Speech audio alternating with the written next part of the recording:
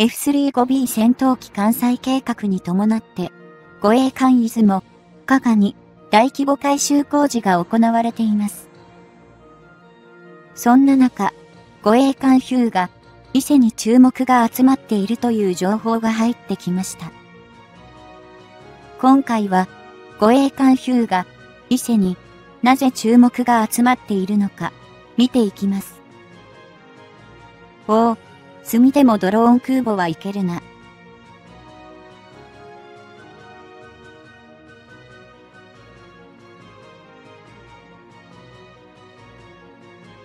2023年時点で海上自衛隊で最大規模を誇る艦艇といえば、伊豆、元加賀の2隻を含む伊豆も、型ヘリコプター搭載護衛艦ですね。これは、艦式号 DDH と呼ばれており、極限まで回転翼機の運用能力を高めた艦になっています。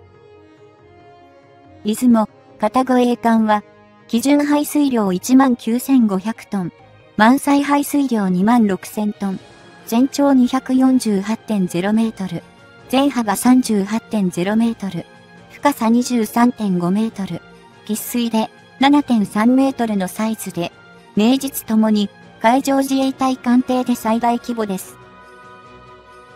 この大きさを誇る出雲、片護衛艦の機関部ですが、アメリカのジェネラルエレクトリック社製の LM2500IEC が、スタータービンが4機組み合わされた小ガグ方式が採用されていて、マックス出力11万2000馬力、速度30ノット以上を発揮するそうです。また、出雲、片護衛艦の電源設備として、機関部と同様に、アメリカのジェネラルエレクトリック社製の LM500 ギガ07がスタービンオモ発電機を4機等搭載しており、合計で最大 14,000kW の電力供給を行うことが可能となっています。出雲、片護衛艦は、全通式飛行甲板上の右端部分に集約化された環境を備えています。これは、いかにも航空母艦しかとした全通式の飛行甲板で、その上には、5箇所の回転翼機が同時離発着できるスポットがあり、収益時から国外ではヘリ空母とみなされてきました。この全通式の飛行甲板のサイズは、艦自体とほど同様の全長 245.0m、全幅 38.0m が確保されていて、海事で対戦勝海戦闘や追水上戦闘を担う SH60 キロ回転翼機に限れば、マックス14機が艦内格納庫に収容可能ということです。ただし、実際の運用では、出雲、片護衛艦は、標準では、SH60 キロ回転翼機を9機、輸送と救助、救難用途が主任務である、MCH101 回転翼機2機を搭載する体制を敷いています。格納庫は3つあり、第1、第2、及び整備用の3つが艦内に設置されているそうです。出雲、片護衛艦は、その大きさを活かして、陸上自衛隊や海上自衛隊が運用している総発で、大型の CH47 チヌーク回転翼機の運用が当初から想定されていましたが、この大型機体ですら、艦内格納庫への収容が可能ということです。ということは、出雲、型はそれほど大きいということですね。出雲、片護衛艦の格納庫に収容可能な回転翼機のサイズを紹介しましょう。SH60 キロが最大で全長19.8メートル、全幅16.4メートル、全高4.0メートル、重量1065トンです。MCH101 は全長22.83メートル、全幅18.6メートル、全高6.66メートルで、重量が15.6トンということです。これらの回転翼機を、艦内の格納庫から昇降させるエレベータが、出雲、片護衛艦には2機備えられています。全部の1機は飛行甲板上のインボード方式で、後部の1機は環境広報の右舷にサイドデッキ方式で設置されているそうです。各エレベータのサイズです。飛行甲板上のインボード方式エレベータは、長さ20.0メートル、幅13.0メートルです。サイドデッキ方式のエレベータは、長さ15.0メートル、幅14.0メートルで、対価荷重量は30トンを超えると言います。現在、出雲、片越栄艦が行っている航空母艦化改修工事によって、同艦は短距離離陸、垂直着陸が可能な F35 ライトニング 2B 型を艦載機にできますが、同機は長さ15.61メートル、幅11.37メートル、重量27トン強という規模ということです。出雲、片越栄艦のネームシップで、一番艦である出雲が寄港されたのは、2012年、平成24年1月、日本政府が出雲、片越栄艦を改修して、F35 ライトニング 2B 型を艦載機にすることを公に認めたのは、2018年、平成30年3月ですが、それを見越して設計がされていたことが垣間見えます。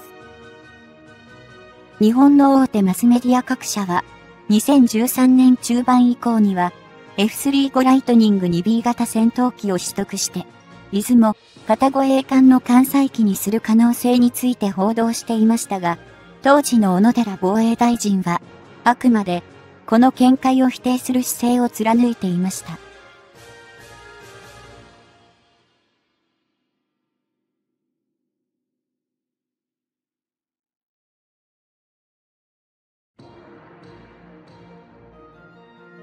当時は政治的に日本の海上自衛隊が装備として航空母艦を運用することについて専守防衛を掲げる動体の理念を逸脱するのではないかという批判をマスディアから受けることを危惧していたせいだと思われますが、現在からすれば、覚醒の感が拭えませんね。しかし、日本がこうした政治状況にあった時期にも、中国海軍は国家の経済力を背景に、軍の装備の近代化と増強をどんどん進めていました。こうした事態への危機感が日本国内でも醸成された、醸成したことから、この航空母艦化計画は市民権を得たということになったのです。日本では2010年後半に差し掛かると、出雲、片越栄艦への航空母艦化改修を公にし、2017年には、同艦の建造を担当したジャパンマリンユナイテッド社が、航空機の運用能力の向上を企図した研究を委託業務として受注したことで、その事業に着手しました。この中ではいずも型護衛艦に無人航空機と合わせて F35 ライトニング 2B 型の運用を企図する研究が行われたそうです。これを受けて2018末に閣議決定した防衛計画大綱や、その具体策を記載した中期防衛力整備計画では、ストブル機運用について言及されました。そこで、従来の日本政府の国会答弁では、自衛隊が保有しないと定義してきた装備3点、つまり、大陸間弾道弾や戦略爆撃機、そして航空母艦については変更しないとしながらも、出雲、片越栄艦の改修は、攻撃型航空母艦には該当しないという見解が示されたのです。航空母艦を攻撃が高い中と区別するこういった定義が、軍事的に意味があるかどうか、実に日本的な政治上の言い回しと解釈をひねくり回したものという感は、否めません。しかし、どちらにしても、出雲、片越栄艦の航空母艦化改修が、本決まりになったことは間違いない事実です。それでも、日本政府は仮に、出雲、片越栄艦の航空母艦化改修が完了を終えても、F35 ライトニング 2B 型を常時艦載機とする運用は行わないと明言しています。従来通りの回転翼機による対戦勝会任務との併用が前提であると付け加えています。出雲、片護衛艦の航空母艦改修の予定ですが、まず、2020年度防衛予算から改修費用をひねり出して着手。全通式飛行甲板に F35 ライトニング 2B 型戦闘機が排出する高温の排気熱への耐熱加工を施すことが打ち出されました。また、F35 ライトニング 2B 型の前転工事の離れ着艦をサポートするため、アメリカの強襲揚陸艦にも搭載している誘導装置を設置し、飛行甲板の先端部分の拡幅工事が打ち出され、現時点では、イスモが2027年度中、ガガが翌年の完了を見込んでいるとみられています。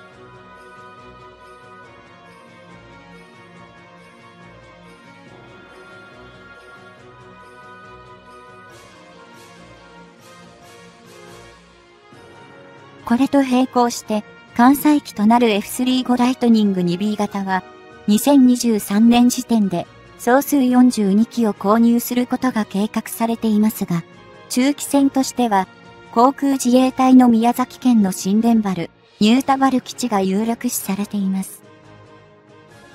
早ければ、2024年度から、同基地においての運用が見込まれているようです。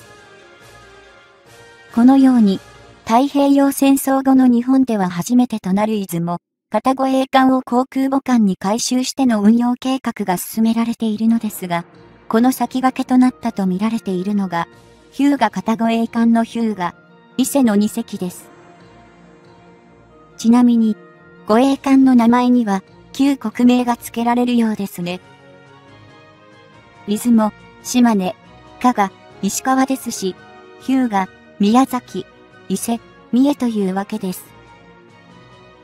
ヒューガ、片護衛艦のサイズを紹介します。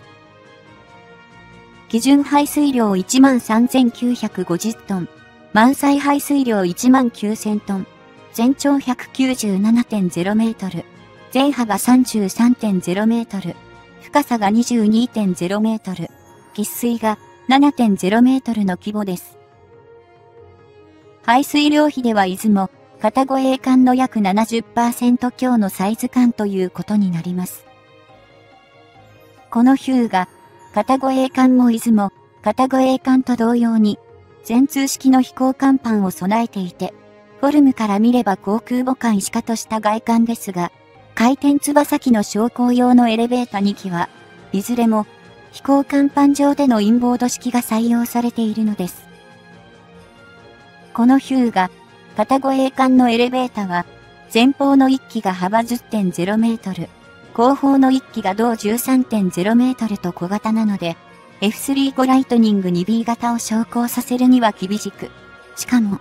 どちらも飛行甲板上にあるので、F35 の離陸距離の確保も困難なのです。そのため、出雲、型のようにヒューが、片護衛艦に航空母艦化改修を行うのは、物理的に制約があって考えにくいでしょう。どちらかといえば、1998年、平成10年から収益が始まった大隅型輸送艦3隻の代替艦に、その機能を盛り込む可能性が高いのではないでしょうか。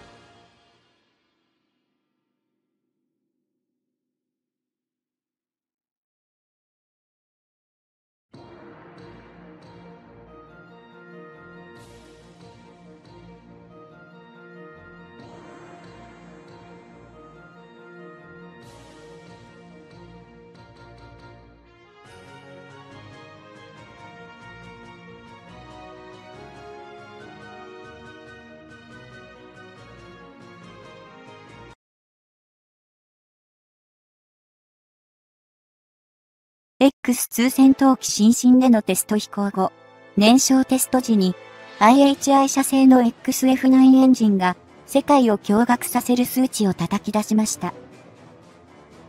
現在、日本、イギリス、イタリア3国の共同開発計画が進んでいます。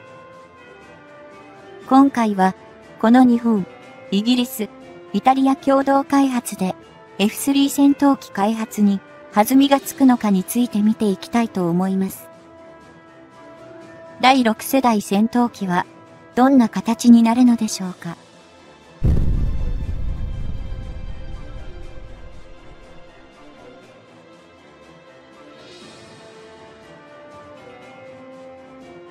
？2022年12月9日、日本、イギリス、イタリアの3カ国は、次期戦闘機共同開発協力に関して、グローバル戦闘航空プログラム、グローバル、コンバット、エアー、プログラムミー、GCAP に関する共同首脳声明を打ち出しました。そして、2035年までに、次期戦闘機を共同で開発することを発表したのです。これと同時に防衛省が発表した、防衛省と米国防省による共同発表の中では、日本とアメリカは次期戦闘機開発に協力体制を結ぶとともに、自衛隊が運用する予定の無人機開発についても連携していくと明らかにしました。日本がアメリカから離れて次期戦闘機開発を進めていくということに、アメリカから反発があるのではと不安視する見方もありました。とはいえアメリカからすれば、これまで率先していってきた装備品開発を同盟国間で役割分担すれば、自分の負担が軽減されますし、アメリカ独自の最新軍事技術や情報を提供する機会が減るので、中国やロシアなどに流出するリスクも少なくなるとして、今回の3カ国による次期戦闘機開発計画を支持しているようです。この次期戦闘機開発プログラムについて、3カ国で主体となる企業を紹介します。体関連は、日本からは、三菱重工業者、イギリスが BAE システムズ社、イタリアはレオナルド社が担当し、エンジン開発は、日本が IHI 社、イギリスがロールスロイス社、イタリアがアビオ社、電子機器関連は、日本が三菱電機社、イギリスがレオナルド UK 社、イタリアは、レオナルド社が、それぞれ取りまとめ役となり、関連する企業の動きを統括していくことになるようです。これまで、イギリスは、フランス、ドイツ、スペインが、共同で次期戦闘機開発として進めている将来の戦闘航空システム FCAS に対抗するテンペスト計画をイタリア、スウェーデンと共に進めていましたが、今回の GCAP にスウェーデンは参加していません。この GCAP によって開発される次期戦闘機は、日本の航空自衛隊では F2 戦闘機の後継となり、イギリスとイタリアではユーロファイターの後継機として位置づけられることになるようです。3カ国でおよそ300機の需要が見込まれ、日本は将来的に兵器の海外輸出解禁を視野に入れつつ、イギリスやイタリアの戦闘機販路によって製造、販売数が増えることで経費削減が期待されます。他にも、兵器を独自に開発する技術力を得ることで、アメリカから兵器を購入する際の価格交渉においても優位に立てる可能性があると見ています。実は、日本はこれまで装備のほとんどをアメリカから購入していました。日米同盟という名の下に押し売りされていたという感も否めませんが、アメリカとの長い付き合いがあったので、アメリカのロッキード・マーティン社を技術支援先の候補に選定しましたが、今までアメリカ側は戦闘機開発の革新的技術をブラックボックス化し、日本の自由にはさせなかったのです。日本は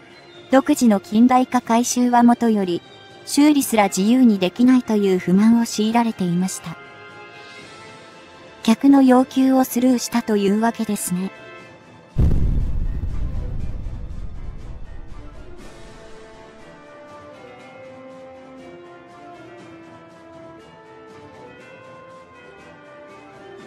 しかし、今回は革新的技術を取得しない方針であるイギリスとの共同開発ですから、時代に合わせた改修を自由に行えるメリットはとても大きいと思われます。イギリスにとっても日本との共同開発のメリットは大きいと推測されます。その理由は FACS とのヨーロッパにおける主導権争いです。シェア拡大を目論むイギリスはアジアで日本を取り込み販路を少しでも拡大したいという思いがあった他に、ロールス・ロイス社のテンペストのエンジン開発が遅れていたためでもありました。高級自動車で知られているロールス・ロイス社ですが、ユーロスター台風のエンジンであるユーロジェット EJ200 の開発のほか、様々な航空機用エンジンを開発しているエンジン開発においては、定評のあるメーカーでもあるのです。ところが、テンペスト計画では、搭載されるコンパクトでかつ、大出力のエンジン開発に苦戦していて、当初計画では、2035年に運用開始だったにもかかわらず、2022年中に、試作機どころか試作エンジンが完成したという情報すらなく、進捗が危ぶまれていました。テンペスト計画のエンジン性能は、空気の吸入量が毎秒 100kg 以上とされ、タービン入り口における温度は2000度 C 以上にもなるので、タービンには高温耐性が求められています。また、ユーロファイター台風に搭載されている EJ200 エンジンの10倍の発電能力と、最新のレーダーやセンサー類のアビオニクスが必要とする膨大な電力を賄うことも要求されていたのです。2021年12月22日、ロールス・ロイス社は日本と次期戦闘機用エンジン開発と実証機の共同開発を進めることを発表しました。この戦闘機エンジン実証プログラムは、日本とイギリス両国の次期戦闘機開発に重要な一歩となるもので、将来的には、両国において多数の雇用を発生させる可能性があるとして、日本とイギリスそれぞれにメリットがある点を強調しています。ロールス・ロイス社は、エンジン実証機の共同開発を2022年4月から開始するとして、イギリス政府は、この計画の設計などに3000万ポンド、約45億円を初期投資すると説明した上で、実証機製作には2億ポンド、約304億円を拠出する計画であることも明らかにしました。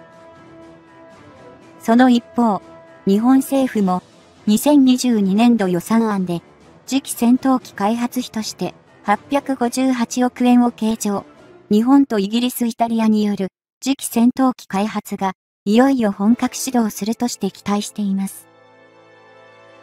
日本では次期戦闘機開発エンジンについて IHI 社がプロトタイプエンジンとして XF9 を製作し2018年6月に防衛装備庁に納入2020年7月まで性能確認試験が実施され、良好な成績を収めたとされていました。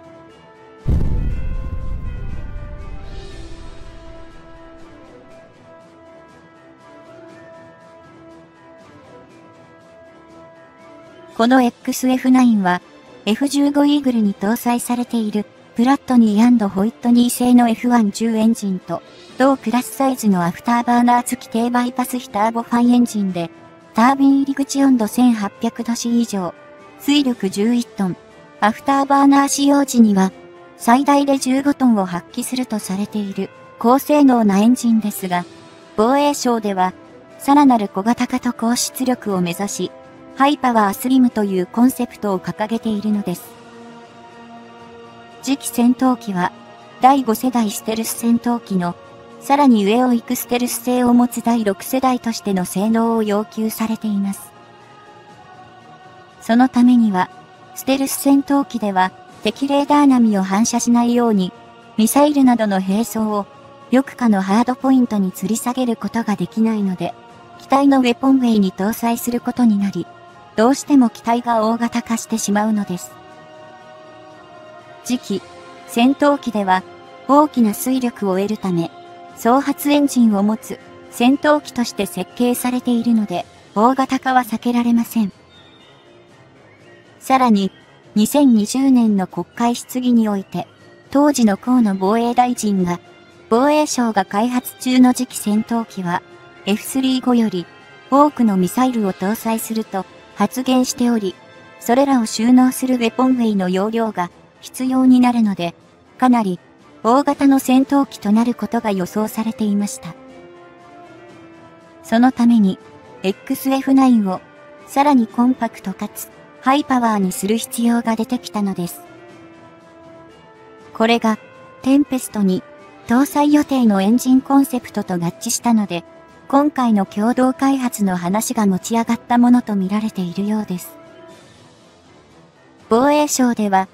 現在空自が運用している F15 の次の主力戦闘機として、ロッキード・マーティン社製の F35A ライトニングに戦闘機105機と、その垂直、短距離離着陸型である F35B を42機導入する計画を進めていますが、中国やロシアでは第5世代ステルス戦闘機の開発が進み、着々と実戦部隊への配備数を増やしているのが現状ですから、それらを数ではなく、性能で上回る第6世代戦闘機の必要性が高まってきています。次期戦闘機開発に関わる国内企業8社が技術協力によってジェット戦闘機開発のノウハウを習得できることが今後の兵器開発に大きく貢献するものと期待する声もあるようです。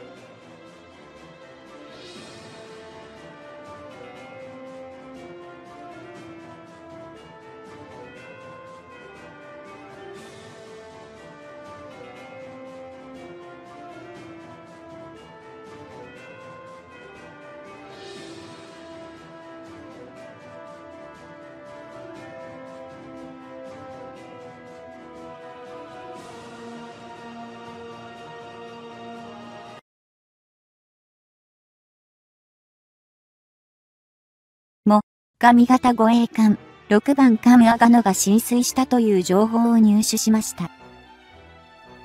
今回は、アガの浸水について見ていきますね。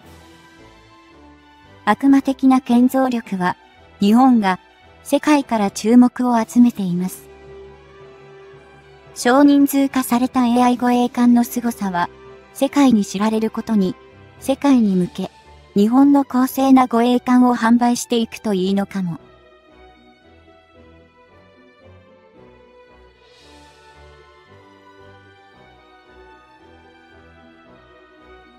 海上自衛隊が急ピッチで建造を進めているのが味型護衛艦。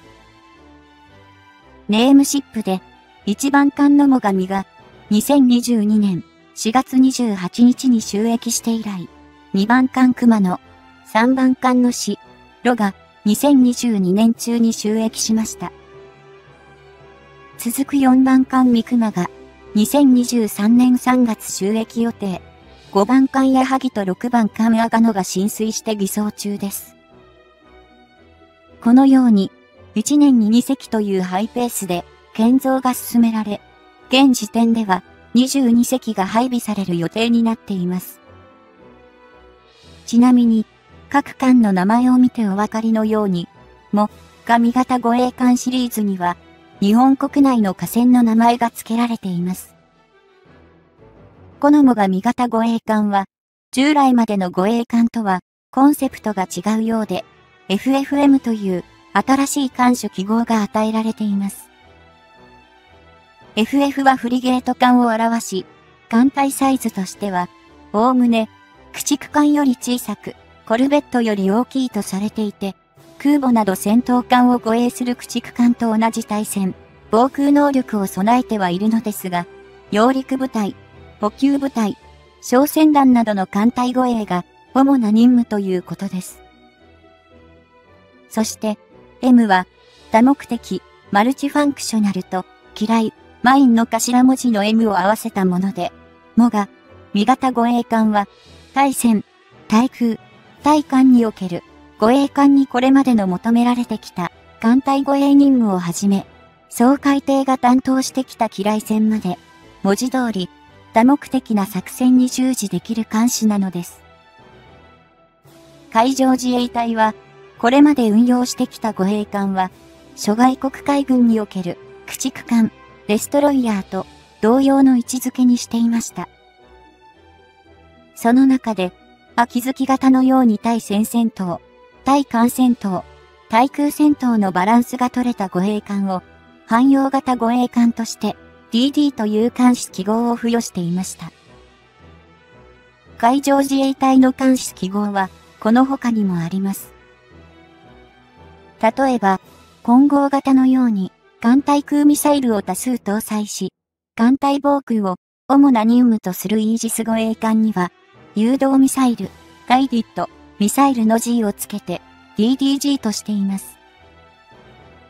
出雲、型やヒューガ型のようにヘリコプターを搭載して対戦作戦などを担当する護衛艦にはヘリコプター、ヘリコプタールの H をつけて DDH としています。また、汎用型護衛艦 DD に比べて小型で、どちらかといえば、近海での活動を主担当とする、アブクマ型などの護衛艦には、護衛、エスコールトの E をつけて、DE という監視記号がついているということです。海上自衛隊では、一定規模以上の艦艇は、すべて護衛艦という故障で統一しているので、フリゲート艦という艦種の設定は、太平洋戦争終戦直後、アメリカから旧型フリゲート艦の供与を受けて、1950年代から1970年代まで運用していた、クス型護衛艦以来となります。この FFM もが、未型護衛艦の構想が明らかになったのは、2013年12月に発表された25大綱によります。その中には、日本周辺の中国、ロシア、北朝鮮の海洋での軍事活動が活発になったため、海上自衛隊における情報収集、警戒監視任務が著しく増大してきたことに対して、そういった任務に対応する能力が護衛艦に要求されるようになったためです。沿岸防備部隊として、いわゆる護衛隊軍に所属しない護衛隊、艦番号が10番台あるいは2桁の護衛隊の増加に加えて、海地が常時保有し運用する護衛艦を47隻から54隻に増強することになっていました。しかし、2014年から2024年の間に、旧式護衛艦4隻が退役する予定とされていたため、それらを入れ替えながら増強を図ることを目的として、多様な任務への対応能力の向上と、艦隊のコンパクト化を両立させた新型艦艇が必要であるとして FFM という新艦種のもが、味型が計画されたのです。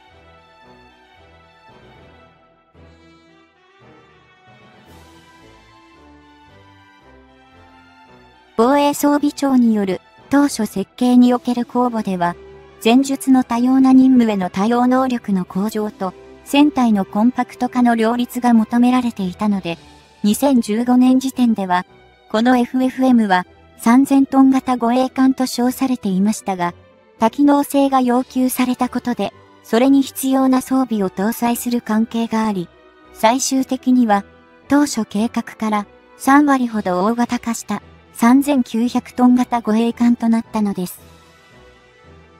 も、が、未型の艦隊の大きさを紹介します。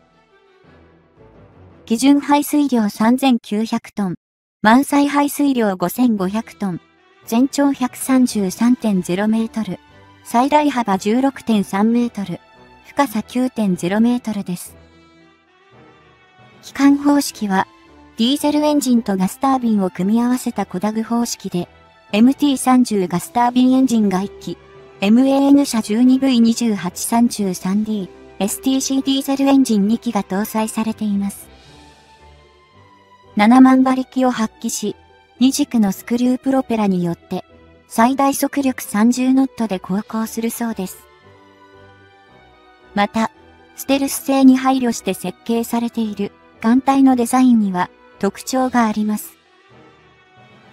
レーダー反射断面積 RCS を低減するために、主戦隊、上辺構造ともに、外国のステルス艦と同じように傾斜角がついているのです。そのため、全甲板から艦尾方向に続くナックルラインが飛行甲板下の後端まで続いています。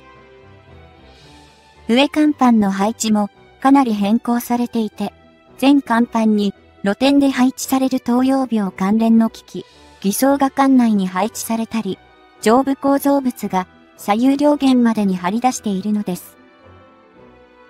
このため、艦の上、甲板にこれまで設けられていた外に暴露している通路が廃止されました。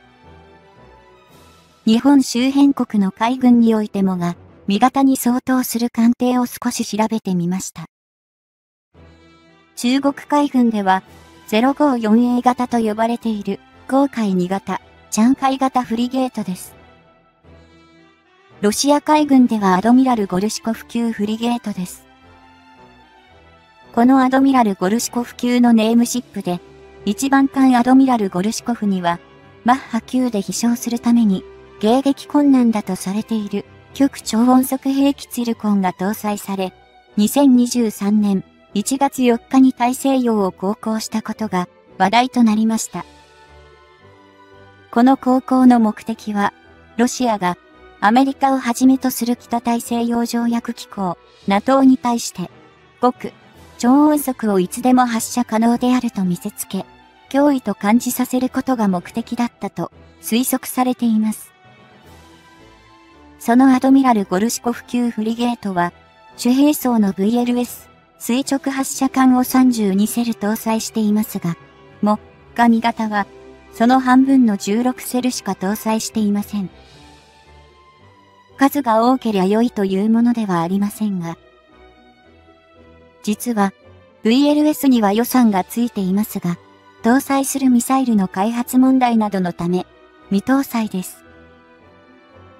そうした兵装の差は、水上戦闘艦として建造されたアドミラル・ゴルシコフ級ともが、味方の運用目的の違いにあります。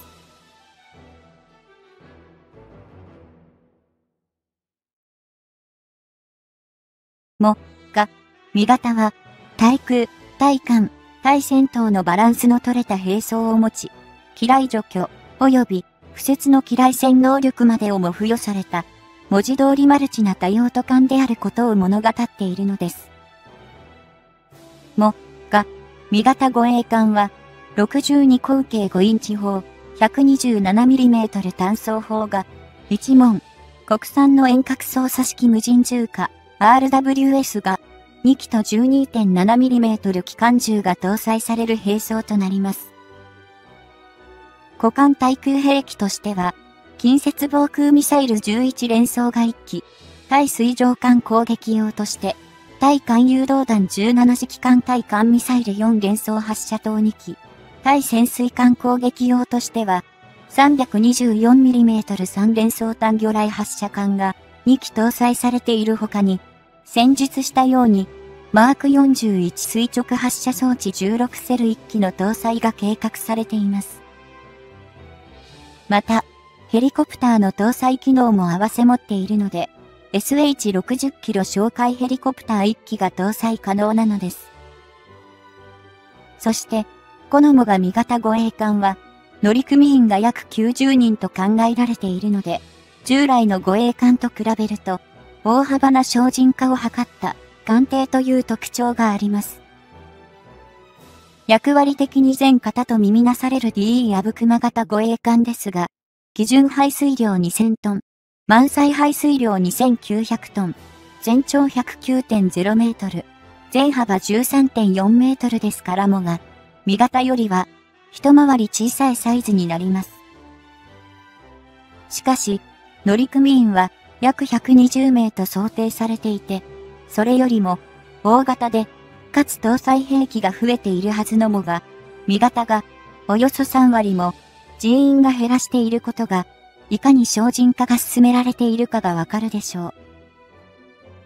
消費と化に伴い、モガ味型では、クルー製の導入が予定されています。これハモが、味型護衛艦3隻に対して、4組の上艦クルーを配置することで、3組が上艦している間は、残り、1組に休養を取らせるというシステムなのです。このシステムによって、定期検査や修理などに対応しながら、稼働席数を確保できるだけでなく、乗員の休養期間が確保されると思われます。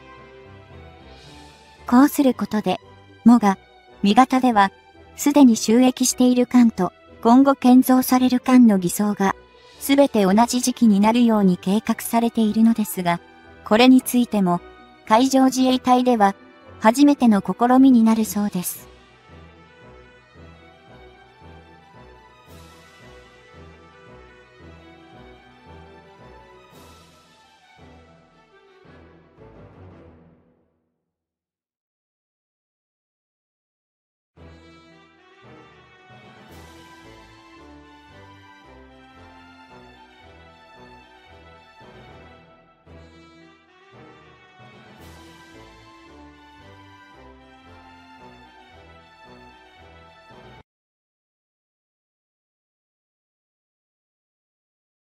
海上自衛隊最大級の護衛艦出雲と、加賀の F35B 戦闘機艦載改造計画が着々と進む中、世界では無人機へのシフトが急加速し、なんとアメリカが第6世代戦闘機開発を中止するとの発表も。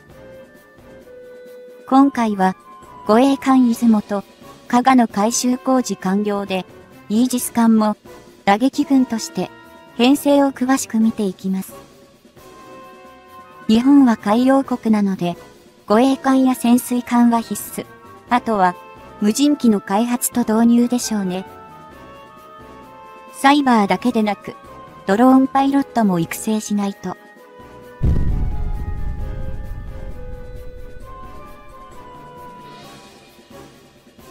2023年現在、世界で6番目を数える排他的経済水域と領海の面積を抱える海洋国である日本は、やはり、その防衛戦力の用として海上自衛隊を位置づけており、時の防衛方針にのっとった装備体系の整備を継続している。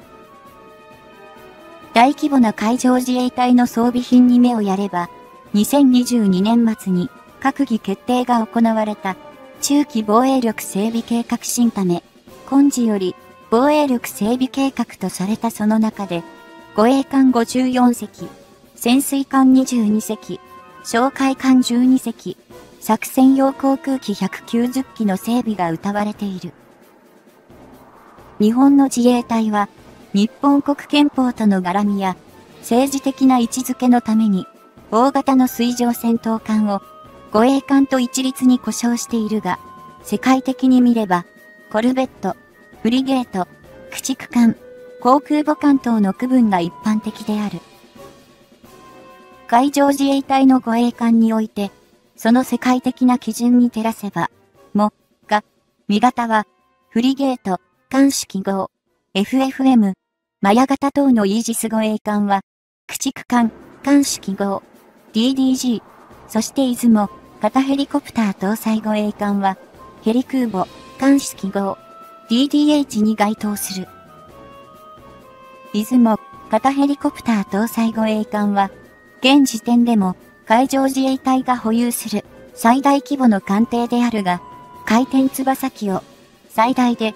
5機まで同時に初着陸させることが可能な全通式の飛行甲板を備えており、出雲と加賀の2隻が収益している。この出雲、型ヘリコプター搭載護衛艦は、1番艦の出雲が2015年3月、2番艦の加賀が2017年3月に収益を果たしたが、当時はその全通式の広い飛行甲板を装備する外観と形状から、一部からは大きな反発の声が上げられてきた。その根拠とも言えるのが、日本国憲法が禁じている内容に、椅子も、型ヘリコプター搭載護衛艦が抵触すると、EU 主張であり、従来から禁止令として挙げられてきた航空母艦に、同艦は該当しているとする非難であった。確かに、1950年代の日本政府は、自衛隊が保有することを禁じられると解釈される兵器の具体例として、大陸間弾道弾、戦略爆撃機、航空母艦を挙げてきたことは事実だが、航空母艦には、さらにその前にある形容詞が添えられている。キレこそが、日本の自衛隊が保有を禁じていると当時も説明されたのは、攻撃的な航空母艦という言い方であり、あくまでも将来的に海上自衛隊が航空母艦的な艦艇を保有しても攻撃的でない限り、その解釈と矛盾しないとする反論だった。収益時の出雲、型ヘリコプター搭載護衛艦は、その艦載機としていたのは、対戦勝海用の回転翼機がメインであり、これらが果たす役割とは、攻撃的な航空母艦のそれとは違うというのが、日本政府のスタンスだった。しかし、こうした日本国内の解釈の問題を別とするならば、世界的に著名なイギリスのジェーン年間等の分類でも椅子も、型ヘリコプター搭載護衛艦はヘリ、空母というカテゴリーに数えられており、国際的な基準に照らした際の扱いは、確かに空母の一種であるだろう。そもそも、航空母艦に対して、それが攻撃的であるか否かを区別することに、本来的な意味などなく、太平洋戦争の敗戦によって、軍隊の保有は行わないという政治的なスタンスを日本が続けていることの祖母は隠すべくもない。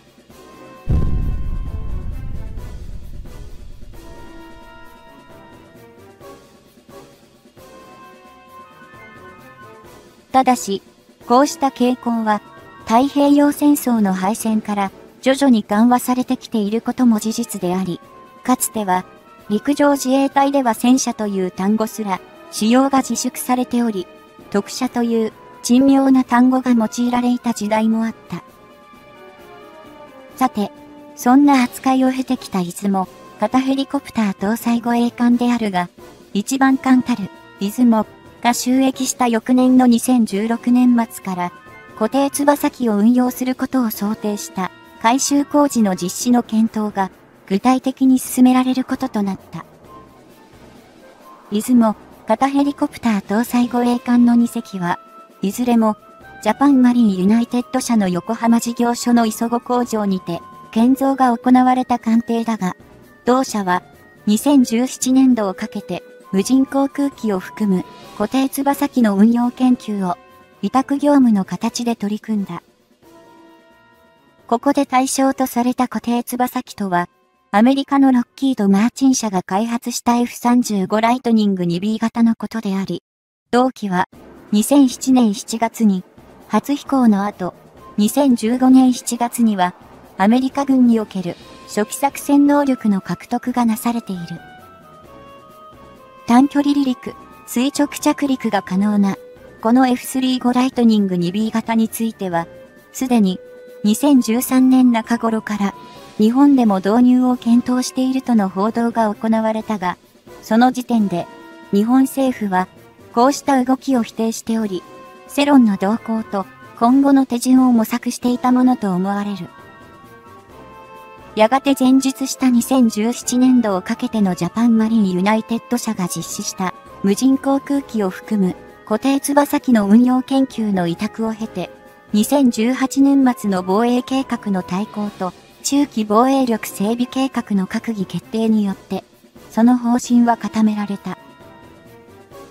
イスも、型ヘリコプター搭載護衛艦は、基準排水量が19,500トン、満載排水量が26,000トン、全長が248.0メートル、最大幅が38.0メートル、深さが23.5メートル、喫水が7.3メートルの艦隊を持ち、海上自衛隊の艦艇中で最大の規模を誇る。よく、出雲、型ヘリコプター搭載護衛艦の大きさを表す表現として、旧大日本帝国海軍の正規空母であった飛竜よりも大型であるとの形容がなされるが、太平洋戦争時の艦艇と比較しても、あまり意味はないように思える。出雲、型ヘリコプター搭載護衛艦は、機関部には、ガスタービン機関を4機据えた、5ガグ方式を採用しており、これによって、最大出力11万2000馬力を発生させ、最大速力も30ノット以上を確保。最大14機の回転翼機を艦内に収容して運用することが可能である。この大きさゆえに、出雲、型ヘリコプター搭載護衛艦は、乗組員の定数も、およそ470名と海上自衛隊の艦艇の中で最大規模であるが、艦載機の運用に特化した仕様であるため、並走は 20mm バルカン砲システムのシースを2機と、シーラ、ム、ポ、2機の近接の股間防空のみに限定されている。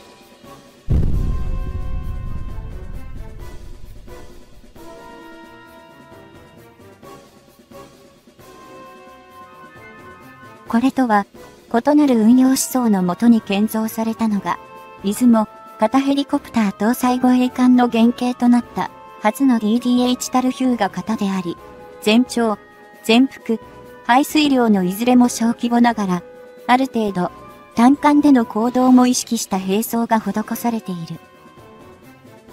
ヒューガ、型は、基準排水量が13,950トン、満載排水量が19,000トン、全長が197.0メートル、最大幅が33.0メートル、深さが22.0メートル、喫水が7.0メートルの艦隊であり、出雲、型ヘリコプター搭載護衛艦よりも2から3割は小さい。にもかかわらずヒューが、型には、並走として、出雲、型と同様の 20mm バルカン砲システムのシウスを2機搭載する以外にも、マーク 41VLS、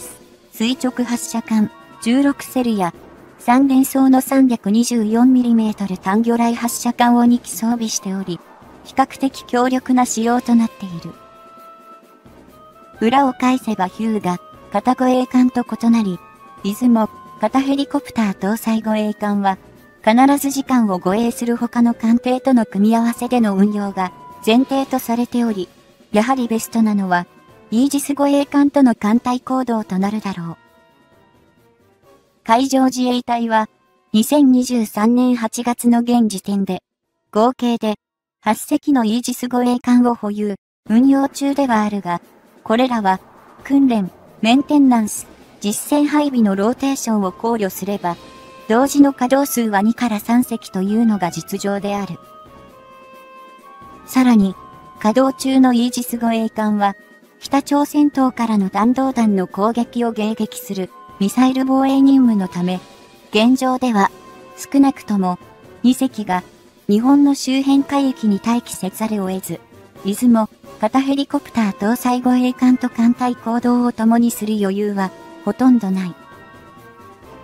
2023年度のからの防衛予算の増加に合わせて、イージス護衛艦も8隻から10隻への造成が盛り込まれたが、ミサイル防衛を担うイージスシステム搭載艦2隻が収益を果たすまでは、こうした状況を抜本的に改善することは困難だろう。